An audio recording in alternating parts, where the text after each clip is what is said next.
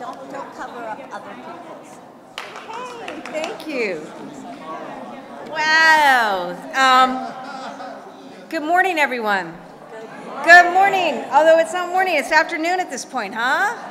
But we've been we've been busy at it. It's been a it's been an exciting roadshow this morning. We started in Newton, where together with our legislative partners, we were able to sign into law Massachusetts' most historic and largest investment ever in housing, $5 billion.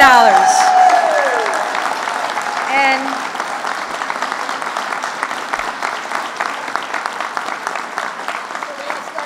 So that was a great way to start the day and something that we made a priority when we took office was to make sure that we were doing all that we could to build more housing in the state. And I'm so glad today we were able to deliver on that.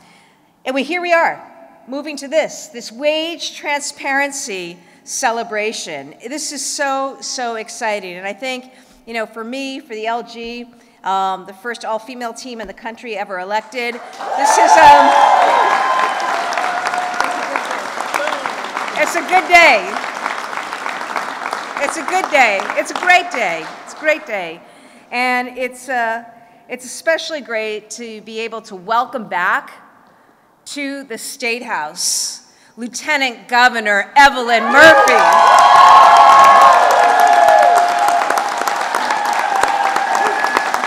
Yes, you should stand for her.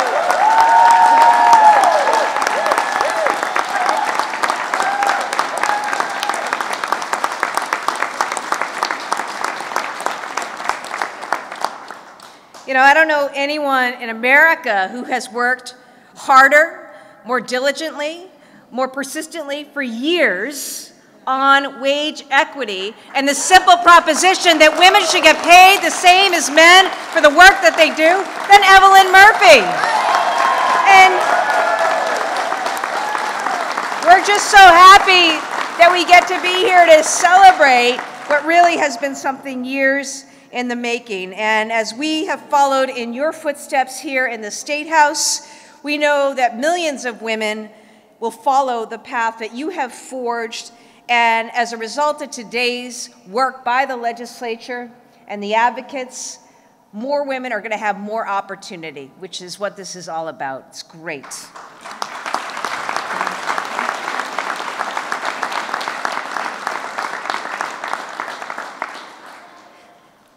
Lieutenant Governor Driscoll and I are proud to be joined by so many wonderful people. Our great treasurer, Deb Goldberg.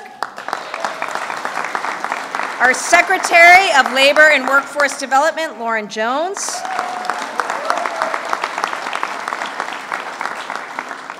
Our Undersecretary for Apprenticeships, Josh Cutler, but importantly helped chair this in a prior life, uh, back when he was with his colleagues in the legislature. So he was a driving force as a legislature in, on this. Our bill's sponsors, Senator Liz Miranda, Representative Dave Rogers, Representative Christine Barber, Representative Brandy Fluker Oakley, who replaced Rep. Cutler um, on this, and former Representative Liz Malia. We're so grateful to all of you and grateful to our conference committee folks as well. Um, Senator Pat Jehlen, Senator Paul Feeney, Senator Patrick O'Connor, Representative Danielle Gregoire, Representative Brandy Fluker Oakley, Representative Hannah Kane. Um, thank you all. Thank you as well to Senator Joan Lovely and the Women's Caucus. Awesome, awesome.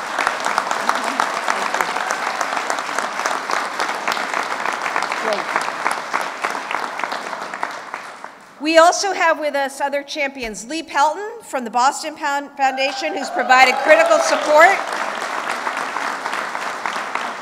Delisa Nova from Amplify Latinx, and all those who've been working so hard on racial justice and intersectional equity, including Colette Phillips, Nicole Obi of BECMA, leaders of our Black and Latino Empowerment Councils, Tanisha Sullivan, Tony Richards, Josiane Martinez, and Gladys Vega. Thank you. Members of business, our great business leaders. We have with us Jim Rooney from the Greater Boston Chamber of Commerce and Brooke Thompson from Associated Industries of Massachusetts. All the employers who've been important participants and role models in this work. I also want to thank Megan Driscoll, who is with us here as well, because she and Evelyn Murphy were um, leaders of our Wage Equity Now coalition. So thank you.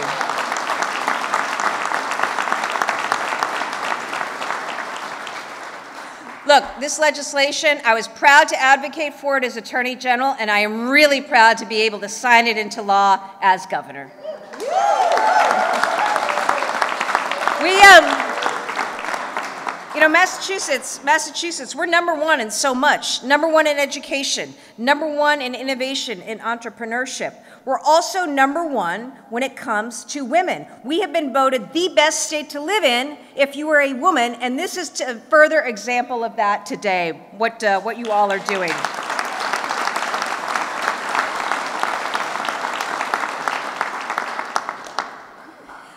Also, we know that being number one isn't good enough if you're a woman in this state and making 79 cents on the dollar, if you're a black woman earning 54 cents on the dollar, or if you're a Latina woman earning 42 cents on the dollar. So today, we are about changing that. That's what wage transparency is all about because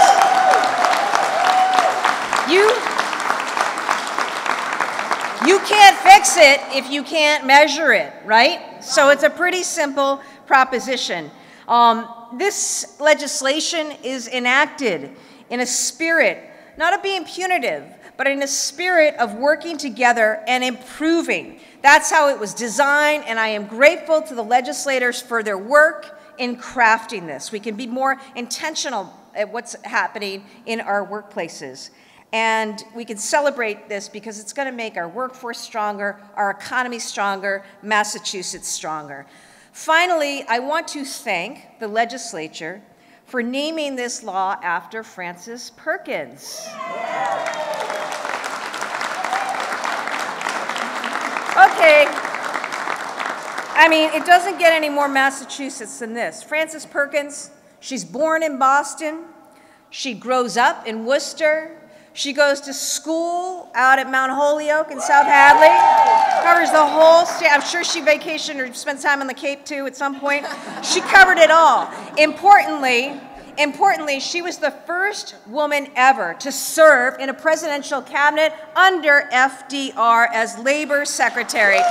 She led the charge to create, she created Social Security, the minimum wage, unemployment insurance, child labor laws, and so much more. A woman born, raised, schooled right here in Massachusetts went on to do those things as U.S. Labor Secretary. So I think it's awesome and appropriate that this is now named for her.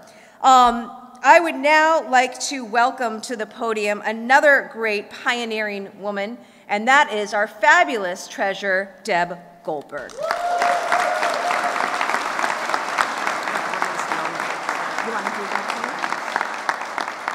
Well, we also want to acknowledge Representative Jay Livingstone. Where is he? Right there. Great. You couldn't see him. I, so many women, I couldn't see you, Jay. Sorry. Um, love you. Whereas, uh, there, there- there's more, more, and all the staff too, for all the all the offices that worked so hard on this. Mayor LaChapelle came out. Former Boston City Councilor Annissa Essaibi George is here. Um, and, and others uh, and others to be named later. Thank you. And Treasurer Goldberg, who has been a, a champion on wage equity and also financial literacy and empowering especially women. Thank you. Thank you.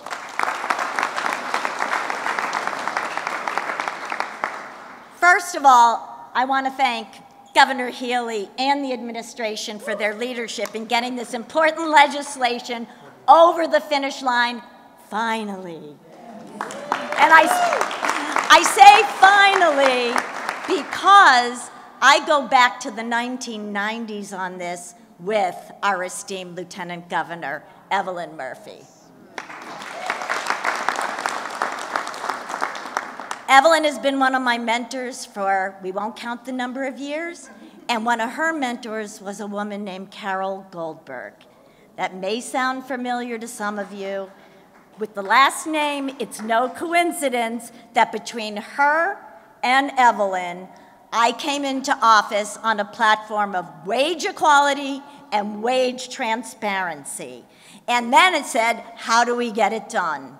So, transparency is a key feature to how you establish wage equity throughout our Commonwealth. So that's why, from the very beginning, in our offices, we posted what the wages would be.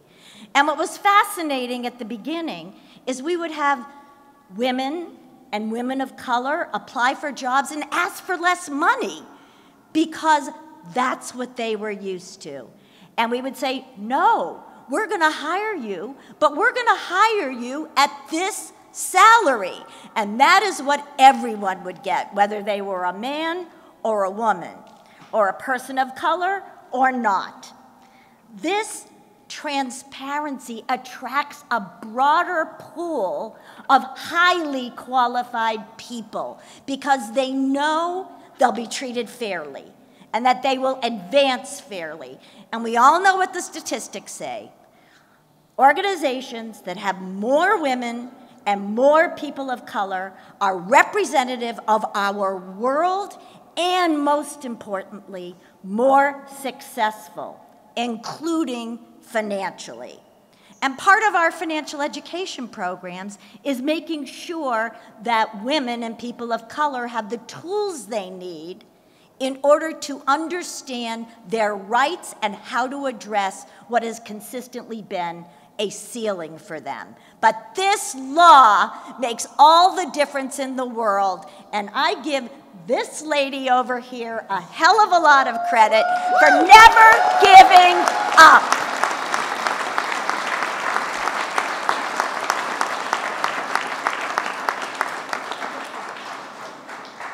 I took a picture with her upstairs. I'll be delivering it to my 93 year old mother this weekend. I can't tell you what that means. I see someone in the back row who knows. And I want to thank every single person who stuck with it, who worked for it, who joined in, and together we all made it happen. So thank you, everybody. It's a glorious day.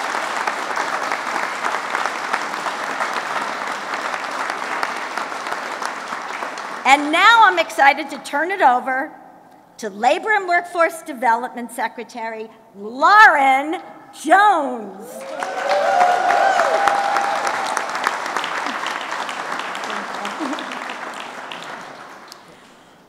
Thank you so much, Treasurer Goldberg, Governor Healey. I want to also acknowledge some more um, special people that are here today. Certainly, Mayor LaChapelle, uh, please wave if you're here, Representative Howard, and Representative Connolly. Certainly, we know more are joining, joining us as the celebration continues, and we're so thrilled to be at the State House where we can celebrate together. So, Governor, thank you especially for bringing us together to celebrate the signing of wage transparency right here in Massachusetts.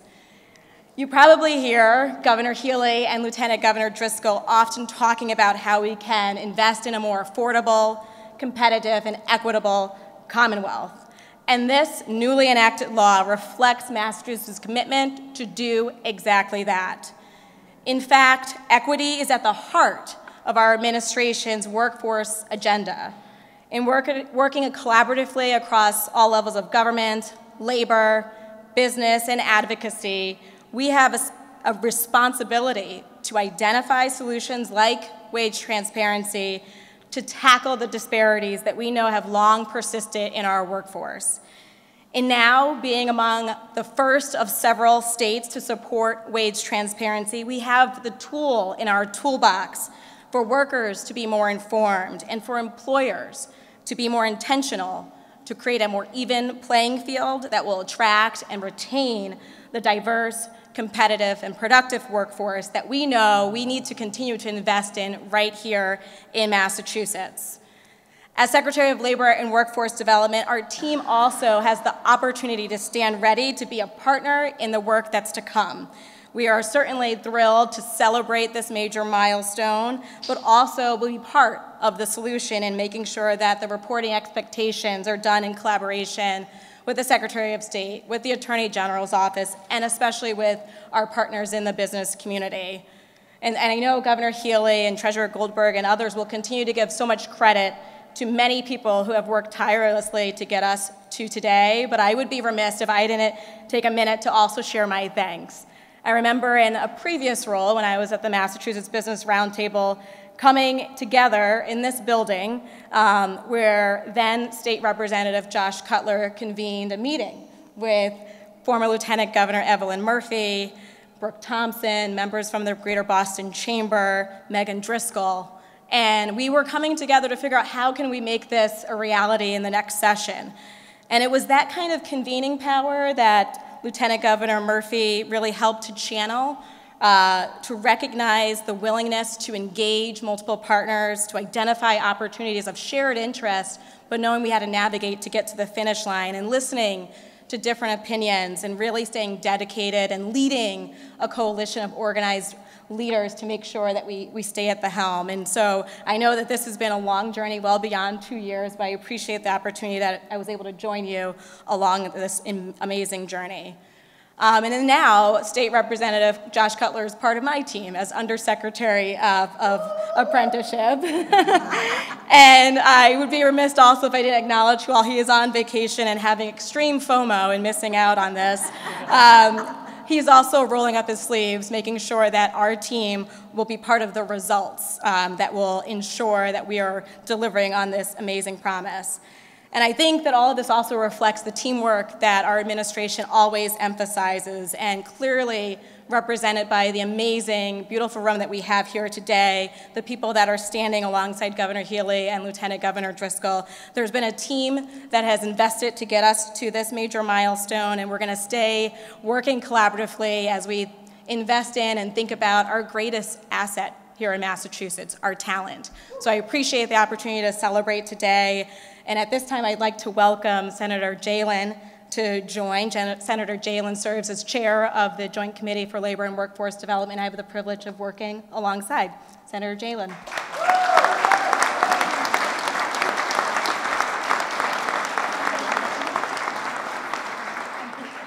I only have two minutes. They're not letting me talk more than that, so I'm not going to thank everybody that was involved in this. But I want to say one thing, which is representation matters.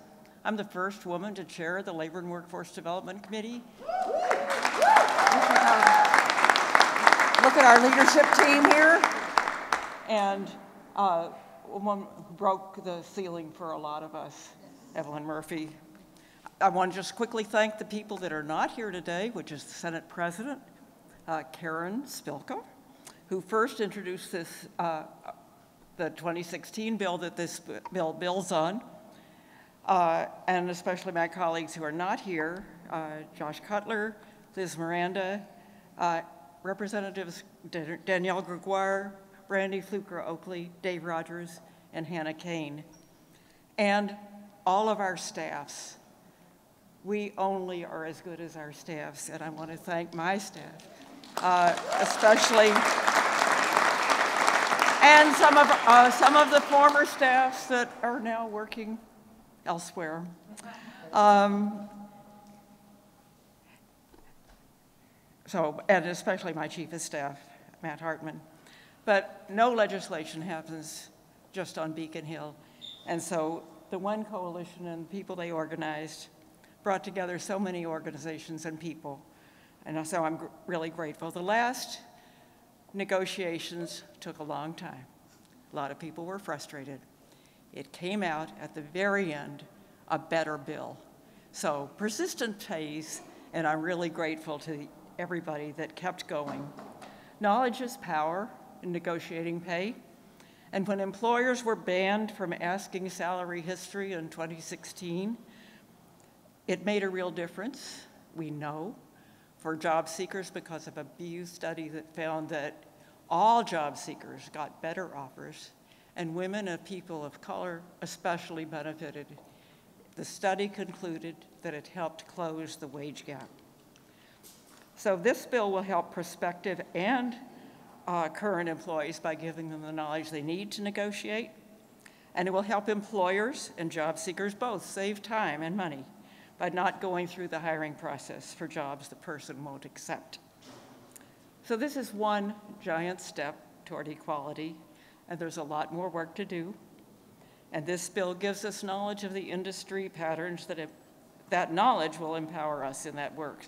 So I'm so happy to be here celebrating today and passing the microphone to Christine, my colleague, uh, Representative Christine Barber.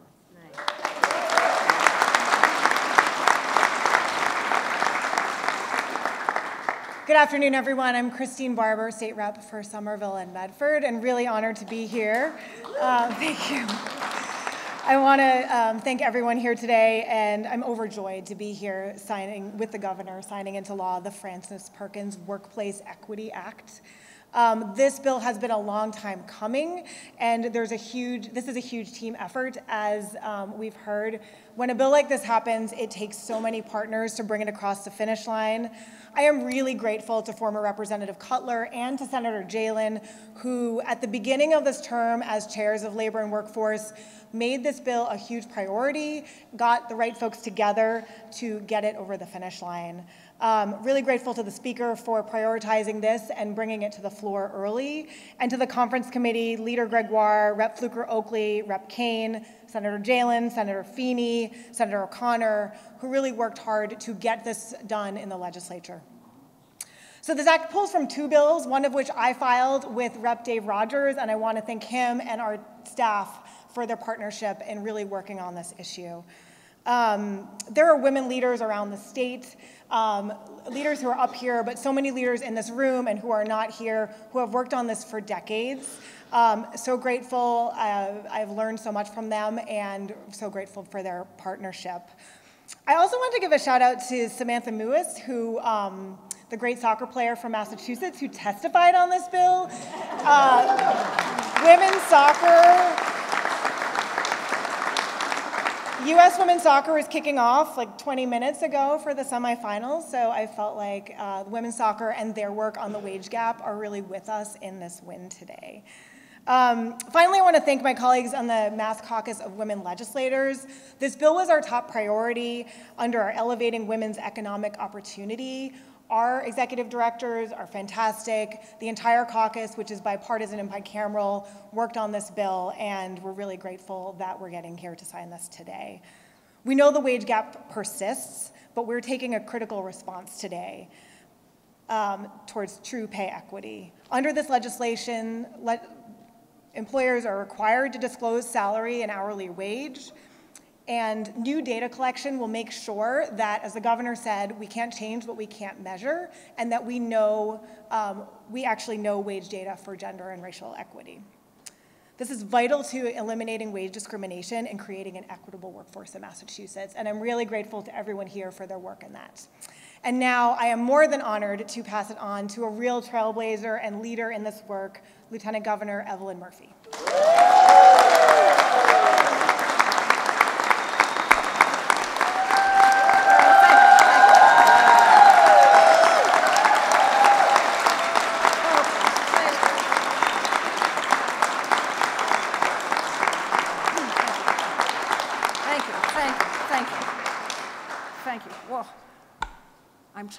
Thank you. Uh, when she was the Attorney General, Governor Healey was the leading state official to support public reporting of wage gaps. Her voice was so clear and so strong that the business community knew it had to pay attention to it. I'll come back to that later. But the Wage Equity Now Coalition thanks you, Governor Healey, for your steadfast leadership over years and years. Without her support, we would not be here today. Thank you, Maura Healey.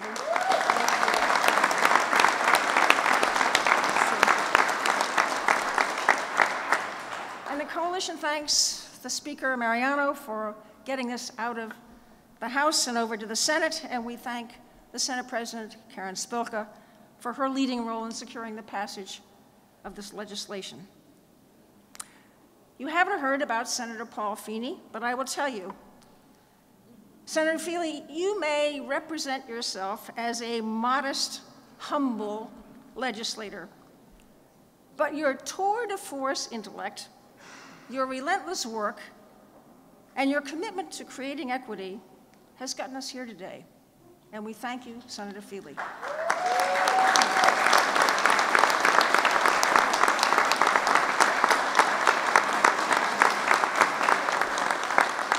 And as mentioned, Senator, uh, Representative Josh Cutler, former representative, is not here today, but his staff worked so hard and so tirelessly and so constructively advancing this bill that we are indeed and great, grateful to Josh Cutler and his team. Thank you, Josh.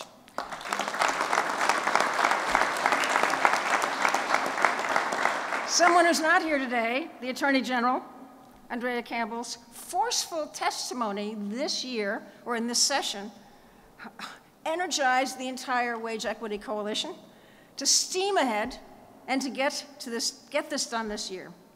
There are many other legislators, as you have heard, and exec executives in the executive branch uh, and activists that have been working on this for six, yes, six years. And I will, sounds old fashioned, but I'm going to write thank you notes to as many as I possibly can get to over the next couple months. So let me tell you something. For me, this journey started with Mayor Marty Walsh, who asked me for language to, that he could file to advance wage equity for women and people of color. Then he left town. And today he's off in Montana speaking, so.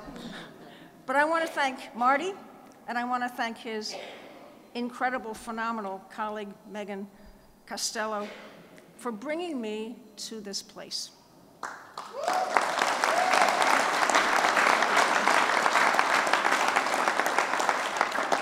The, when, the Wage Equity Now When Coalition maintained its dynamism due to the unwavering support of the Boston Foundation.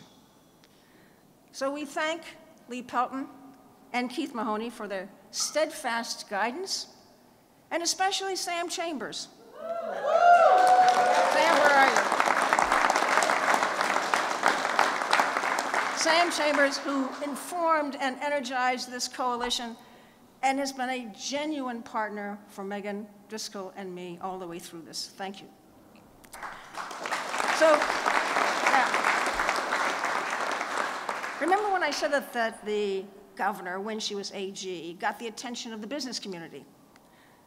Well, some leaders grumbled, others hid. But one, Brooke Thompson, Brooke Thompson said, let us work to find a path, advancing both women and people of color workers and business. She recognized that the Massachusetts economy will only thrive if every single worker feels fairly treated and sees opportunities to move up. It took guts to lead with that perspective. Brooke did, and she deserves enormous credit today.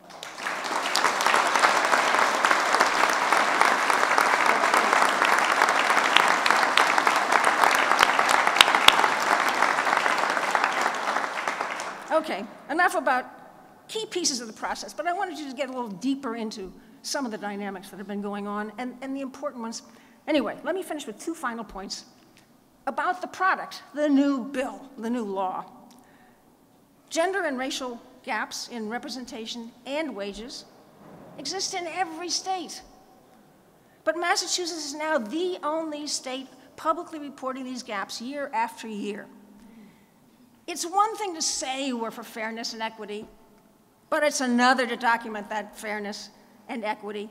We will be doing that now to honor our commitment to women and people of color working here in Massachusetts and to say to the rest of the country Take a look at Massachusetts, because there are real opportunities here to be treated fairly.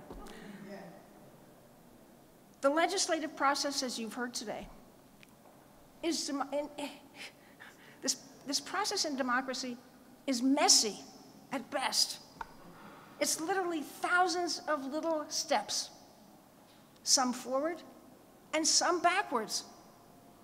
But when we see the outcome, like this one, where all interests are respected and advanced,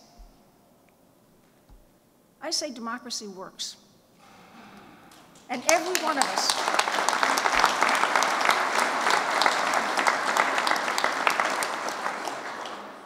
every one of us needs to fight for it now.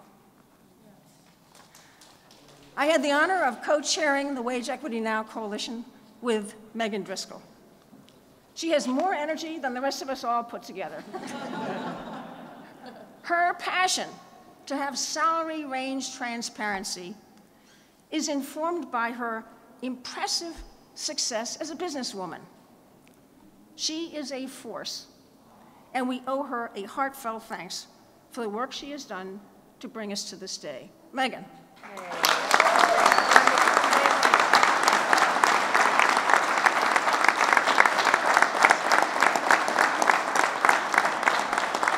Oh, she's a tough act to follow. Oh my gosh. Um, I'm Megan Driscoll. Some of you may know me, some of you may not. I am the former president and CEO of a company called Pharmalogics, which is actually one of the largest recruiting firms in Boston. Um, I, more importantly, though, am the co-chair of the WEN Coalition with Evelyn Murphy, which has been, I always said, like, if this bill fails and it never passes, I got Ev. I got Ev. I am beaming with happiness today because after six long years, we did it. We have passed the most comprehensive wage equity legislation in the country. And who exactly is the we?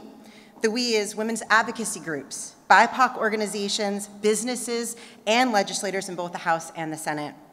How rare is it for all of these entities to get together and agree but this bill is an example of what is possible when we work together towards a common goal. I really hope that this spirit of collaboration serves as a future, uh, future model for legislation. Maybe for the economic development bill, we'll see. There is no mountain we cannot climb when we climb it together. I am really proud of us. This bill will have profound effect on the long-standing racial and gender bias that exists in the workplace. Building a vibrant and competitive economy requires that employees are paid fairly, and today we have sent a very strong message to people of color and women in Massachusetts. We hear you, we see you, you are the economic engine of this state, and we stand behind you.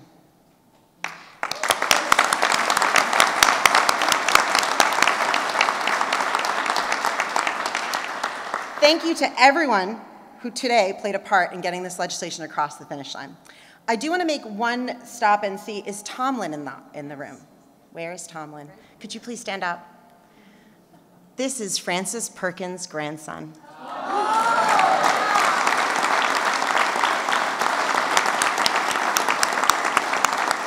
I called him a few months ago and I said, hey, we might have a bill pass. Not sure. Uh, it's called the Frances per Perkins Workplace Bill, and he said, I'll be there. I'll come from wherever to come. So, thank you. We've thanked a lot of people, and I don't want to repeat, but I do want to say an enormous thank you to Governor Healey and to um, LG Driscoll for signing this legislation into law, but more importantly, for providing a living model of what is possible for our girls. May the sky be their only limit. The Boston Foundation gave WEN Coalition a home and provided the structure and the support that it needed to achieve its mission. So I'd like to introduce Dr. Lee Pelton from the Boston Foundation to say a few words. Thank you.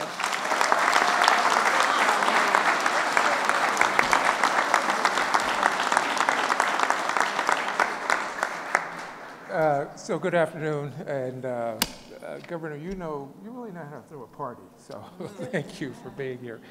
Uh, I was introduced as Dr. Pelton, but uh, I'm Lee. Only my children have to call me Dr. Pelton. So, uh, As one does. Yes, as one does. So I, I want to begin by thanking you, Governor, uh, Senator Spilka, Speaker Mariano, as well as our many partners in government and both the administration and the legislature for getting this bill through and bringing us to this day. It was more than four years ago that Evelyn Murphy, uh, whom we all know, uh, reached out to me while I was still president of Emerson College to urge me to support the effort to begin to close the Commonwealth's wage gap, that it left many women and others behind in salary, promotions, and benefits. In other words, to close the power gap, because this is what this really is. It is a power and privilege gap that we're seeking to close. And of course, we all know when Evelyn asks for your support, uh, there's only one answer, and no is not one of them. So I told her uh, uh, to count on my support then, and so when I left Emerson to become uh, president and CEO of the Boston Foundation, I was wonderful to join forces with her to host the Wage Equity Now Coalition with Keith. You've been called out, and Sam, still over there. Thank you so very much. So most of all, we're indebted to the heroic and tenacious effort uh, led by the Wage Equity Now Coalition and its co-chairs, or perhaps we should call them champions or warriors, uh, Evelyn and Megan. Thank you so very, very much.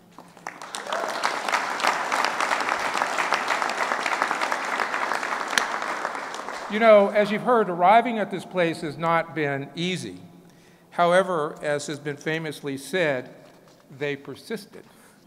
And we are very grateful for their persistence because we know in our hearts and our minds that the essence of the issue is fundamentally about human dignity and human worth. And the American ideal, still unfulfilled, that if you work hard, you should be paid just as much as the man working next to you.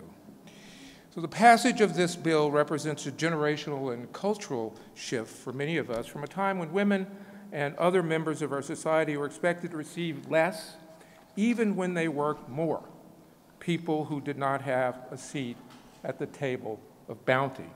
And so I want to thank and applaud the many coalition members, too numerous to mention here. I want to thank you.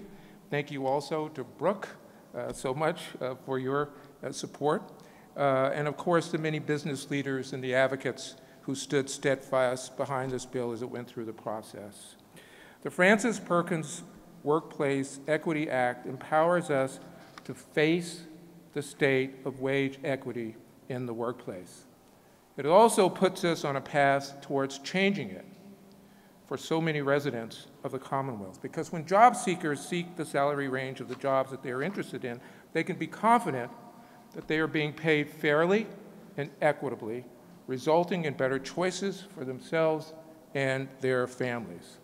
And this law will shine a bright light, a very bright light, on which industries in the Commonwealth are working towards closing the wage gap or the power gap, as I named it earlier. Transparency builds accountability.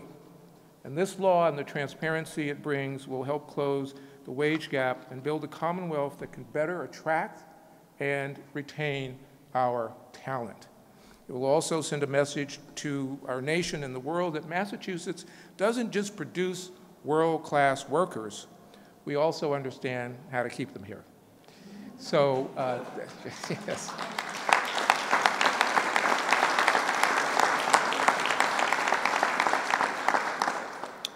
And now it's my pleasure to turn over the microphone to uh, Delisa Nova, who's head of the strategy and development at Amplify Latinx.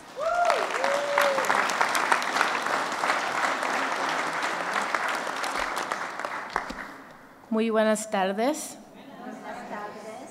Good afternoon, everyone. Thank you so much, Governor Healey, for your unwavering commitment to creating a fairer and more equitable Massachusetts. It is an honor to be here today on behalf of Amplify Latinx as we celebrate this pivotal moment in our state's history, because this is historic, guys. Three years ago, Amplify Latinx joined the Wage Equity Now Coalition to support the vision and life's work of our esteemed former Lieutenant Governor, Evelyn Murphy. Evelyn called our co-founder, President and CEO, Eneida Roman, who was unable to join us today but sends her love, and she said, presente, because we don't say no to Evelyn. Evelyn's dedication to addressing wage inequities has been a guiding light for all of us committed to this cause. Today, we witness a significant milestone in that journey with the signing of the Wage Transparency Act, or Evelyn's bill. this act is not just a policy change.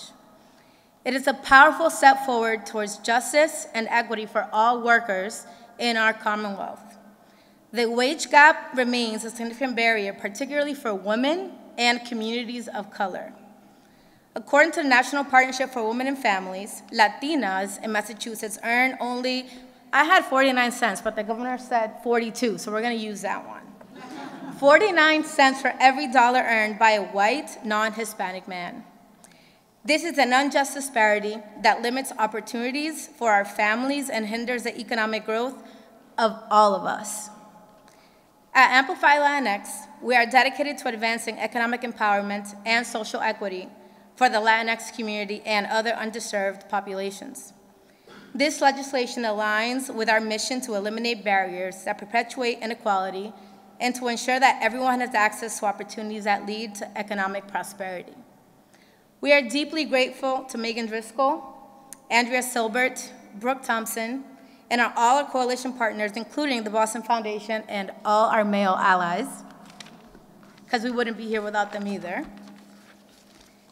Because working in unison, they created a more equitable Massachusetts. Your tireless efforts and collaboration have been instrumental in bringing about this historic change. This act is more than a legal obligation. It is a declaration of our collective commitment to justice and fairness.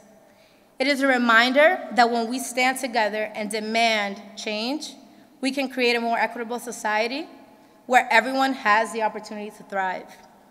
As we celebrate this achievement, let us also recognize that we still have a lot of work to do. Thank you again, Governor Healey, for your leadership and vision and for making Evelyn's bill into law. Together, let us build a future where equity and opportunity are within reach for every resident of Massachusetts. And back to you, Governor. All right. Yeah. Yeah. Oh, wow. Okay. Um, at this point, here's what we're going to do. I also um, want to. We're going to. We're going to go sign this. It's going to be awesome. Um, I also want to recognize Denella Clark, who is chair of the Mass Commission on the Status of Women. Thank you for your leadership. All right. The- And um, I also appreciate Beth Chandler, you know, former head of YW, long champion for gender equity on so many fronts, now at Point 32 Health. Maria Mossaides, um, Office of the Child Advocate, thank you. Great. Um, so awesome. We're going to move this to the other side, and you guys are going to come in, or what are we going to do? We're going to.